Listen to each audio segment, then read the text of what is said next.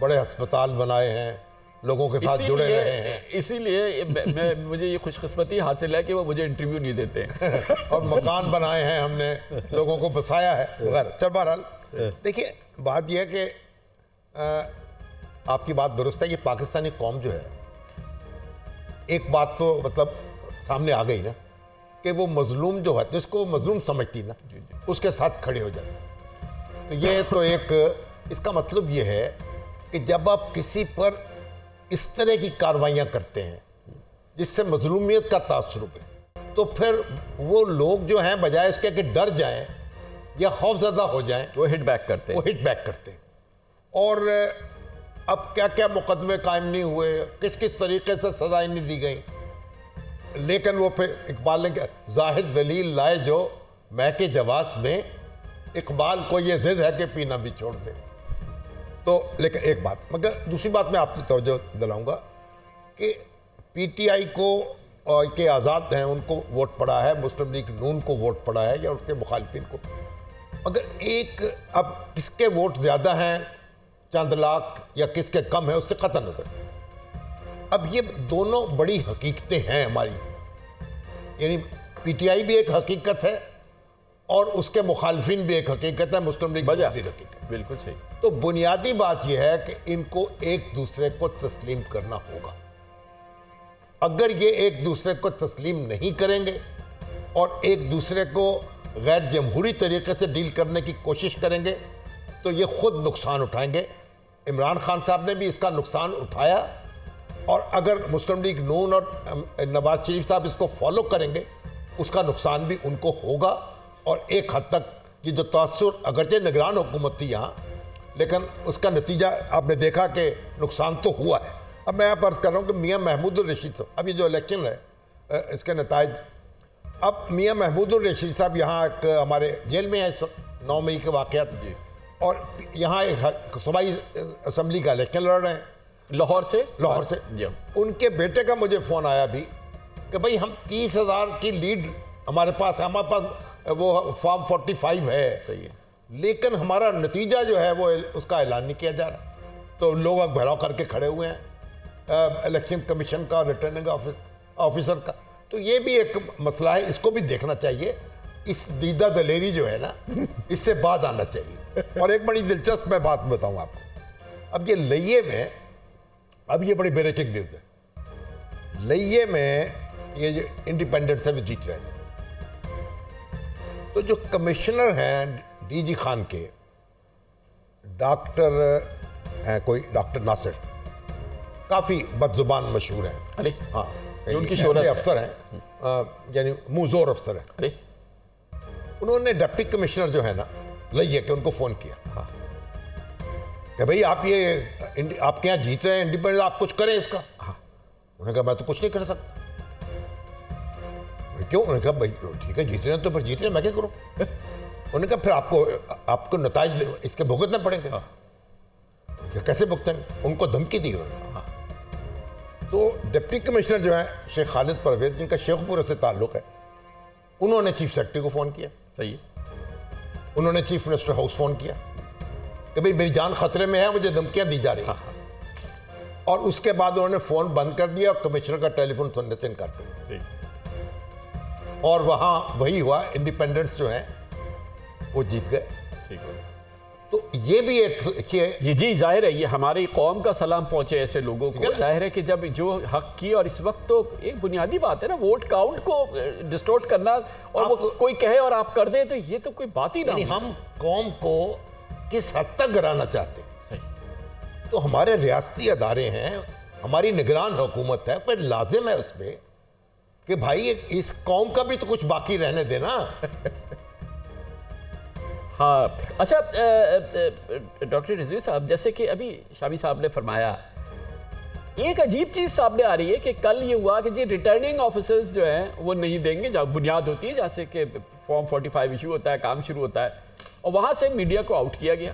फिर returning officers को chief election commissioner ने एक टेलीविज़न इंटरव्यू में बताया जर्नलिस्ट को बताया कि उनको ले जाया गया फिर प्रिजाइडिंग ऑफिसर और वहाँ उनको बंद कर दिया गया। उनसे कहा गया कि भाई यहाँ से नतीजा जारी होगा। और जो 45 है, वो लोग 45 लिए घूम रहे हैं। जैसे महमूद रशीद साहब का खानदान है, वो लेके घूम रहा है। और कहा जी 45 पे कुछ नहीं होगा। अब 47 से होगा कोई 47 है।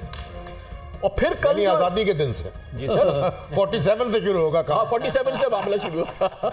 अच्छा फिर साहब कल आपने देखा कि ये तो कानून है कि रात को सुबह दो बजे रिज़ल्ट आना था चले दो बजे नहीं आए दो दस बजे बिल्कुल रेड लाइन है यहाँ आ जाना चाहिए।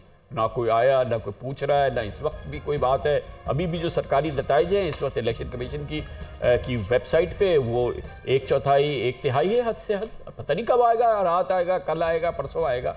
तो ये पूरा माहौल जिसमें इलेक्शन हुआ और इलेक्शन से पहले जो हुआ उसका तो हम ज़िक्र ही नहीं हाँ, कर रहे वो, वो एक पूरी एक अलग दास्तान है वो शायद तारीख के लिए है कई उस पर किताबें लिखी जा सकती है। तो अब हम तस्लीम कर ले इन जो भी नतीजा आया है कम अज़ कम इसकी कितनी अहमियत है? देखिए इसका मतलब तो यही है कि एडमिनिस्ट्रेशन की खुदसरी जिसको हम ये कहेंगे कि हमारी एडमिनिस्ट्रेशन समझती है कि उनके पास इख्तियार है उनके पास स्टेट की कुत है लिहाजा जो चाहें, जिस तरह चाहें, वो हुक्मरानी कर सकते हैं, फ़ैसले कर सकते हैं। वो ये भूल जाते हैं कि हर माशरे का एक सियासी कल्चर होता है। पाकिस्तान का एक सियासी कल्चर ये है कि अगर आप इलेक्शन रिज़ल्ट्स को डिले करेंगे तो उससे शकूक व शुभात पैदा होंगे। और ये रिपीटेडली पिछले इलेक्शन अगर आपने मुताल किया है तो उससे आपको अंदाज़ा हो जाएगा कि 2018 में भी ये आरटीएस की शिकायत पैदा हुई थी उससे रिज़ल्ट कई घंटे रुका रहा और उसके बाद शिकायत ये हुई कि रिज़ल्ट बदला गया। आ, रात भी हमने ये देखा कि इलेक्शन का रिज़ल्ट जो है आज चल रहा था एक ट्रेंड चल रहा था रुक गया।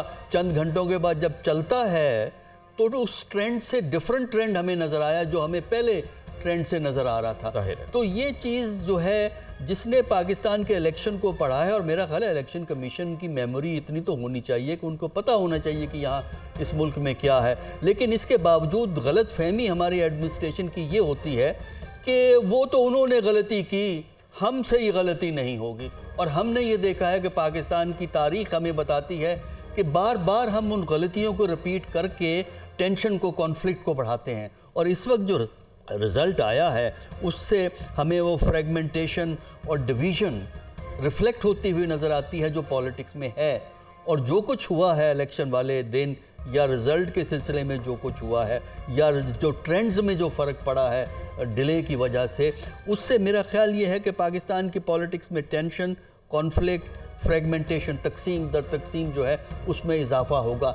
इलेक्शन का बुनियादी मकसद ये होता है कि आप एक ऐसी रिकन्सिलियेशन की फ़िज़ा क्रिएट करते हैं, जिससे आप मुश्किल मामला को तय कर सकें। लेकिन हमारे यहाँ हमने देखा है कि इलेक्शन से कॉन्फ्लिक्ट पड़ता है, और जो इस वक्त रिज़ल्ट हमारे सामने मौजूद है, उससे कॉन्फ्लिक्ट बढ़ेगा। क्योंकि अब रेस होगी कि आज़ाद जो मेम्बरान हैं इंडिपेंडेंट मेम्बरान हैं, चाहे वो रवायती इंडिपेंडेंट हैं या पीटीआई के इंडिपेंडेंट हैं उनको किसी तरह उनका कान मरोड़ के उनको आगे पीछे करके जहाज़ों में बिठा के घुमा फिरा के हम जो है किसी ख़ास साइड में उनको बिल्ड कर लें। यानी एडमिनिस्ट्रेशन की अब कोशिश ये होगी कि जो कोलिशन बने। ना हो क्योंकि ये तो बहुत ही बहुत ही भयानक सिनेरियो की आप बात कर रहे हैं कि अभी इलेक्शन से पहले क्या हुआ इलेक्शन वाले रोज़ क्या हुआ, अब इस नतीजा किस तरह से आ रहा है, फिर उसके बाद उस नतीजे की सूरत में जो अर्क निकलेगा, उसको जो है उसमें जहर मिला दे तो ये तो एक बहुत ही बहुत ही भयानक कैफियत की बात करें। वैसे साहब ये बताइएगा कि आपका बड़ा माशाल्लाह तजुर्बा है ये खैबर पख्तूनख्वा की इसकी सियासत को और उसको समझने का। हर लिहाज से ये तो हम शायद एक्सपेक्ट कर रहे थे कि पीटीआई को, की शिकस्त मुश्किल है के पी के इलेक्शन के अंदर।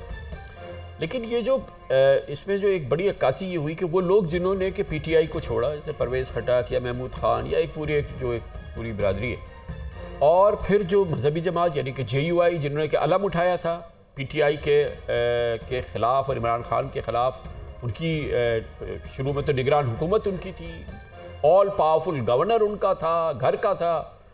इस सब के बावजूद इतना रद्द अमल, इतना अवामी लगाव पीटीआई के साथ है और इस शिद्दत का लगाव जिसमें कि खातन भी निकली हुई हैं, बच्चियाँ निकली हुई हैं के पी में, ये बहुत ही इनक्रेडिबल फिनमिन है। जी बिल्कुल खान साहब, आप दुरुस्त कह रहे हैं, बल्कि मेरे अपने तजिए और अंदाजे भी इस हवाले से बिल्कुल गलत साबित हुए हैं। हम ये तो हम देख रहे थे कि वहाँ पे पीटीआई के लिए एक हमदर्दी का आंसर भी मौजूद है और उनका वोट बैंक भी एक्टिवेटेड है।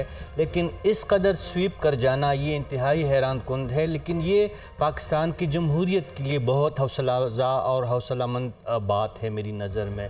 पहली दफ़ा हमने देखा है कि एक तो नौजवान वोटर निकला है और खैबर पुख्तनख्वा जो जिनकी बदनामी इस हवाले से है कि ख़वान को कई इलाक़ों में महदूद कर दिया जाता है, बल्कि उनको इंतबी अमल से बाहर रखा जाता है। इस दफ़ा जोक दर जोक ख़वातीन भी निकली है। और तीसरा जो मेरे लिए सबसे अहम बात है, जो खैबर पुख्तनख्वा के आवाम के लिए एक अच्छी बात है कि अमूमन वहाँ पे टर्न आउट जो बाकी मुल्क है, उनके मुकाबले में बहुत कम रहता है। अभी तक इलेक्शन कमीशन हमें ख़त्मी नतज नहीं बता रहा है। उसके बाद हमें अंदाज़ा होगा कि खैबर पुख्तनख्वा में कितना टर्न आउट रहा है। लेकिन जिस बड़े क्वांटम से पाकिस्तान तहरीक इंसाफ के जो हमायत याफ्ता आज़ाद उम्मीदवार जीते हैं बड़े बड़े मार्जन से अस्सी हज़ार लाख तक वोट एक एक उम्मीदवार ने हासिल किए। ये कराची और लाहौर जैसे बड़े हलकों में तो एक्सपेक्टेड है लेकिन हमारे यहाँ पंद्रह हज़ार और बीस हज़ार ही से लोग जीतते हैं। इस